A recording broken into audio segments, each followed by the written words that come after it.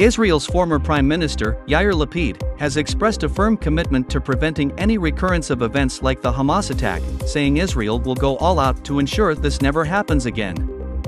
Lapid's remarks came during a conversation with news outlet NDTV. The former minister told NDTV that Israel's immediate priority is to hamper Hamas capabilities.